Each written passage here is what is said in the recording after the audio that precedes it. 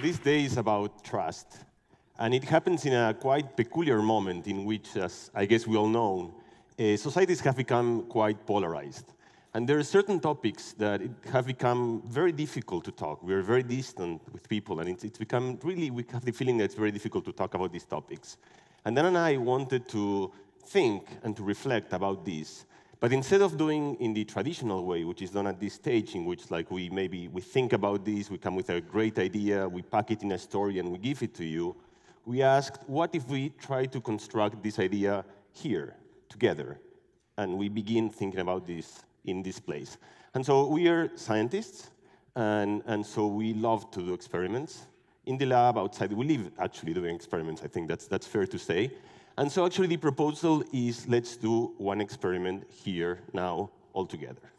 And so uh, to begin the experiment, this, this is not really high technology. It's based on pencil and paper.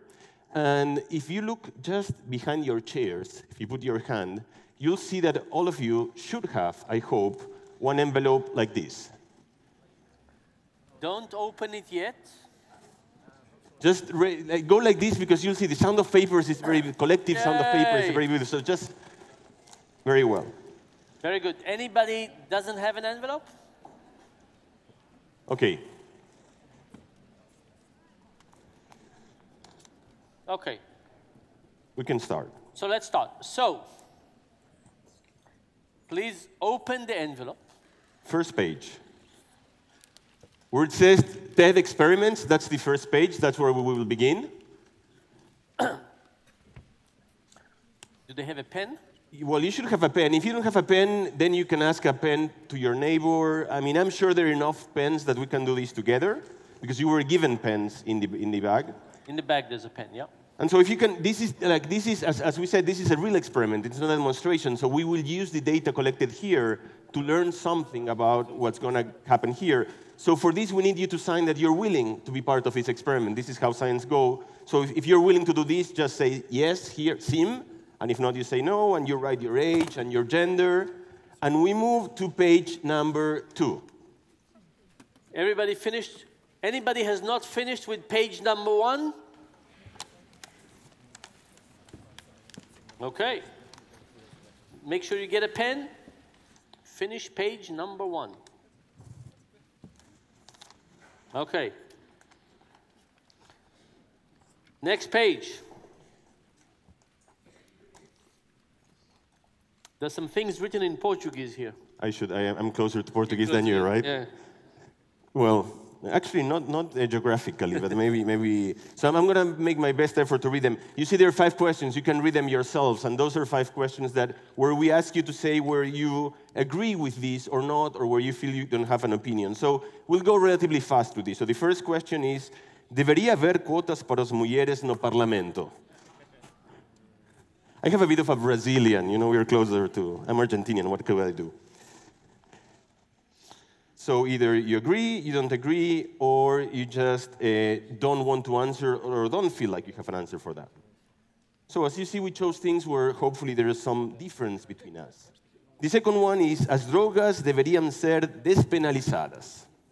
So sim, now, o no sabe, no responde. So this is something about drugs. This, this, yeah. This it's a good question. Well, we'll see. Question number three.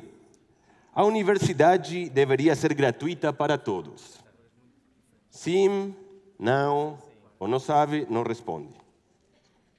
This is about university. Should university be free for everybody? Yeah, that's, that's, that's the question. Please don't answer it. No, no. Now, question uh, number four. Toda gente deveria utilizar transportes públicos en vez de carro. Everybody should, should use... be all public transportation instead of cars you know Portuguese, yeah, man. Yeah. Theme now, or you don't know, and you don't, or you don't again. Well, you know. You want to read the fifth one? No. Okay. Fumar debería ser prohibido en todos los locais públicos. Something about smoking. Sim now. Sim now, or no sabe no responde. It says uh, smoking should be forbidden in all public places, public Great. locals. Everybody finished? Great. Now comes the tricky part. you have a number on your envelope. It's also on the, on the first page, if you, if you lost the envelope. And uh, somebody else has the same number on their envelope.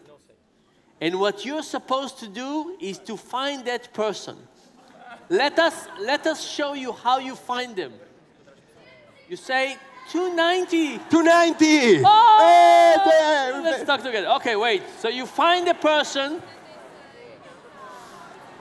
Come on, stand up.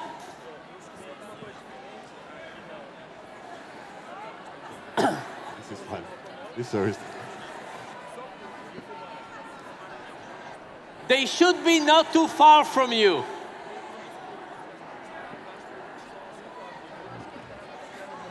If you don't find that person, stand up. If you find the person, sit down. If you haven't found the person, stand up and, and show it around until you find the person. if you find the person, sit down. You found it? Look, please, please. Eh, Shh. We need, we need, we need some silence, some silence. People. Ew, ew. Oh, Please, please, silence. I have, I have a trick. The secret of having good sex Okay, guy- so people, please, please, please make, make some silence Let- here. Let, me try again. A guy goes to the rabbi and he says, Rabbi, I think my wife is trying to kill me. Would you talk to her and find out if that's the case? No, it doesn't work. No. Anal sex. Okay, quiet! That's always. Okay, look, you should wait. Ew. People that don't have a partner, you silently go to the corridor, you find someone else, and you just invent a number and you write down the number for the two envelopes. Once you find a partner, from now on, you have four minutes to do the following thing. Please pay attention. You have to discuss about these five questions freely. You can discuss one of them, three of them, four of them, the one you like the most. And you have to write down, pay attention to this. In part three, you have to write down the opinions, the responses of the person you are talking with. So here's part three, and you will have to, sorry, in part two. In, no, in part two. In part two, Part two. You will have to respond the answers of your partners. So you have four minutes from now on to talk with the other person and try to choose the more sensitive issues. Your time. Now you can talk all what you want. Start. Go.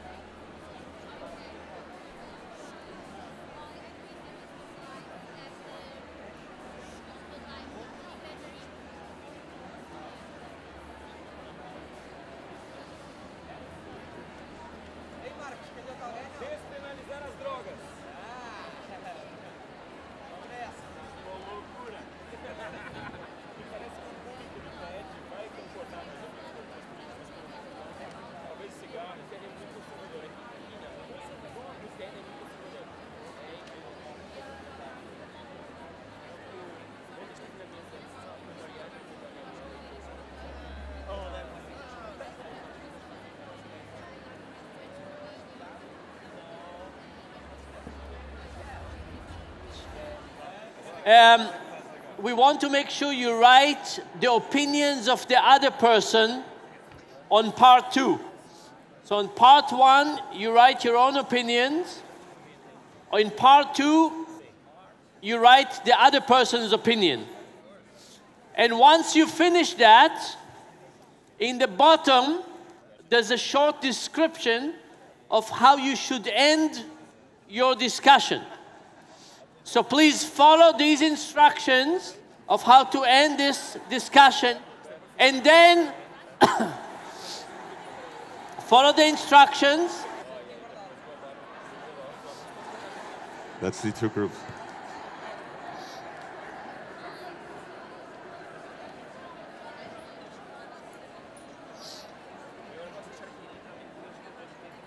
Okay. And now, please fill part number three. Fill out part number three.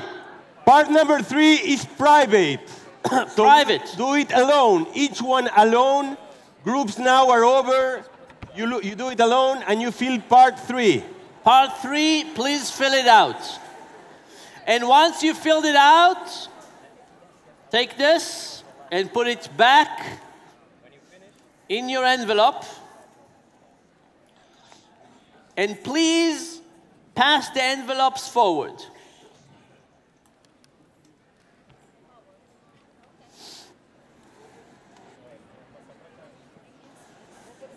Quietly. Uh, okay, so so here's the question. No, no, no, don't silly, don't worry. It's not that secret.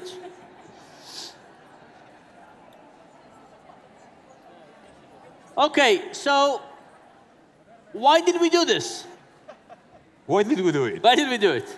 So, as you can see, these questions are questions where people have, hopefully, I mean, maybe in some of these groups you agreed completely. In some of these groups, maybe there were a lot of differences. And as you may imagine, as you may imagine, we tend to like, we tend to trust, we tend to think that people that think like us are actually better, more attractive, more trustable.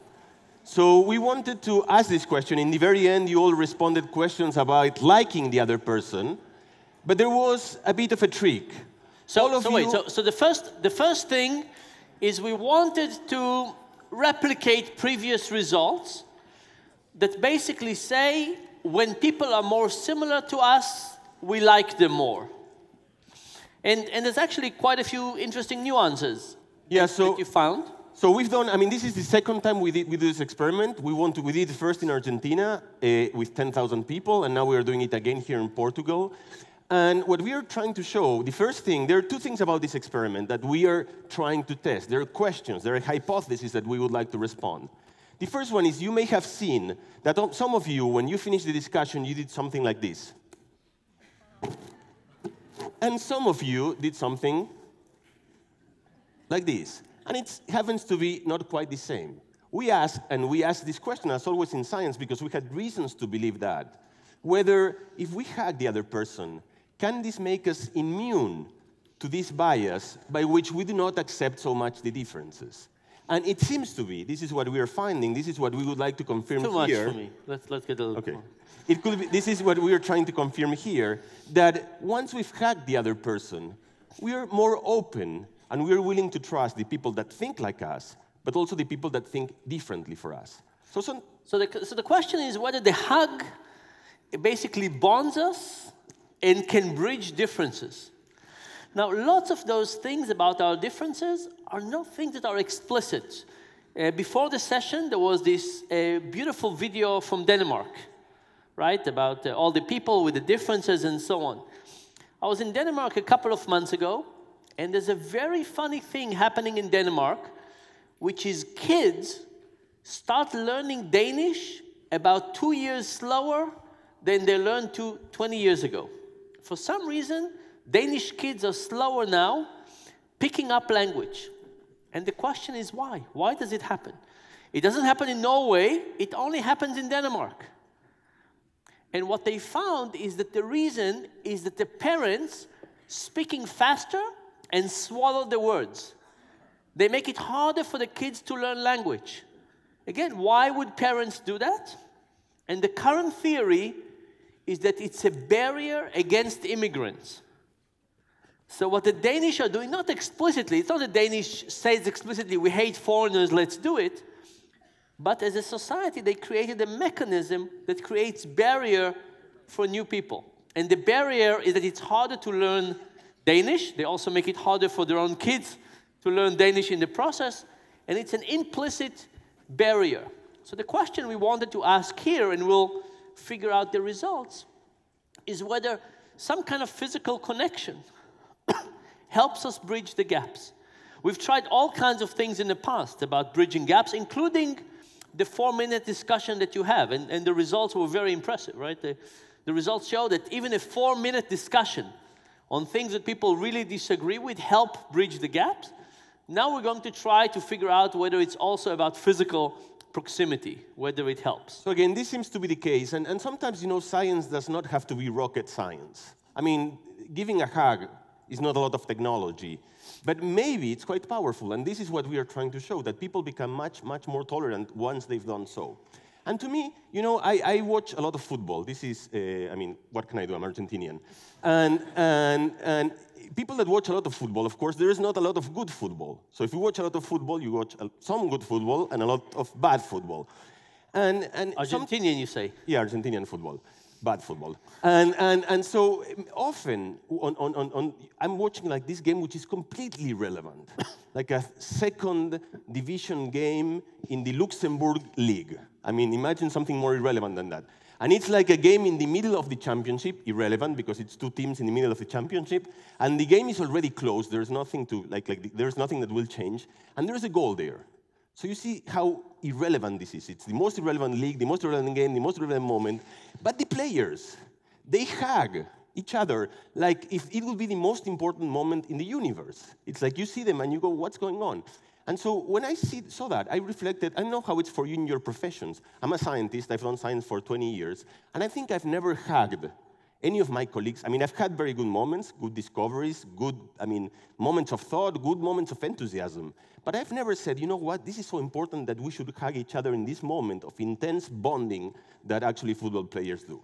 And so maybe what we showed here is that this is quite important. And so we proposed here maybe to change that. After 20 years with one of my friends and colleagues, we're going to change that. And we invite you to actually. Let's, let's demonstrate. Physical, let's demonstrate. Physical contact can be like this, or it can be like this. So you choose, and you like do it the way you want. This is us.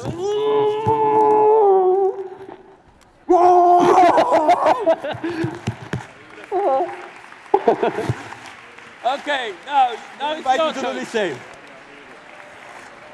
Strong hug, come on. Real hug, a real hug.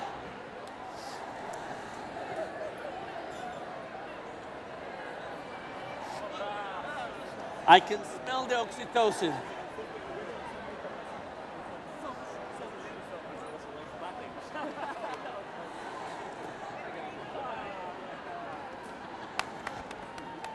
Thank you very much, and we will report the result of the experiment soon. Obrigado, ciao.